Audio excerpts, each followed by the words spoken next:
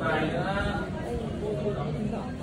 cái bài này vẽ nha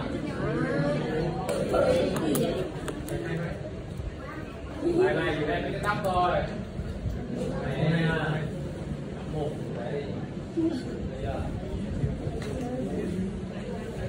cái hình này thì vẽ nha được rồi cái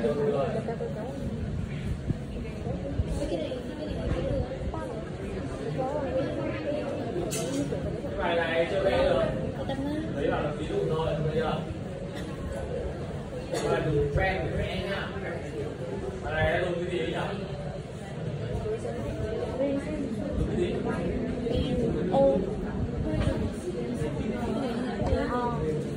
ý bây giờ chúng ta quay lại đây nó hỏi như thế này chọn cái công cụ roasted tool chúng ta là gì gì nhỉ đúng không rồi đúng không Đấy, đúng không nào nghe chưa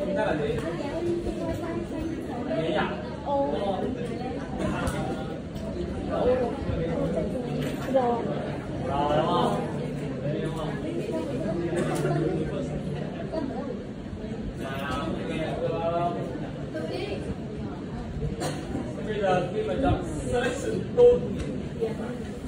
và chỉ ra góc để quay thì cái gì để quay là một trăm độ xít đúng không sau khi ở trong rotation thì dùng cái gì được không nào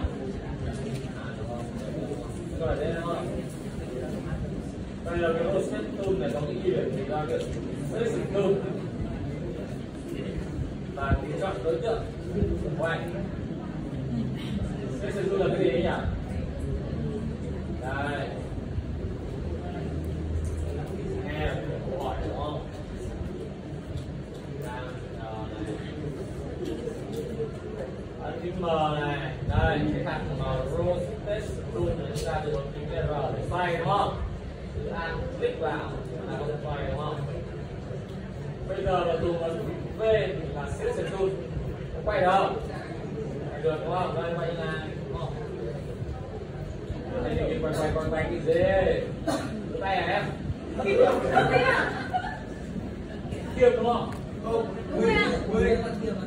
Đúng vậy.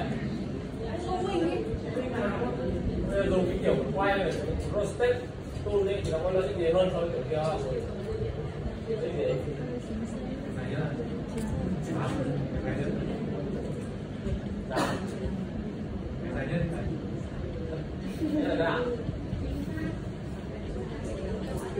đổi sang quay đúng không? Thì quay không nhìn quay. Muốn tạo ra 10 đối tượng quay vào một tâm từ đối tượng ban đầu quay bao nhiêu bao nhiêu đây hình loại này từ cái hình này quay, quay ra như này góc quay bao nhiêu bao nhiêu dễ không đây khu vực thứ ba tay ờ, vuông góc cái chiều lòng ngang sẽ hiện nào? Đấy nhìn nó rất nhau nhé và tôi đã quay lại khu vực lòng ngang thế nào hãy sẽ đến Nếu ai lười thao tác thì sẽ là nhỏ đúng không là quan trọng nhất ở cái việc ship đúng không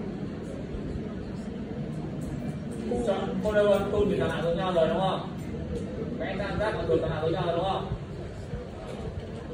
Và khi vẽ tam giác có chữ ship thì làm sao?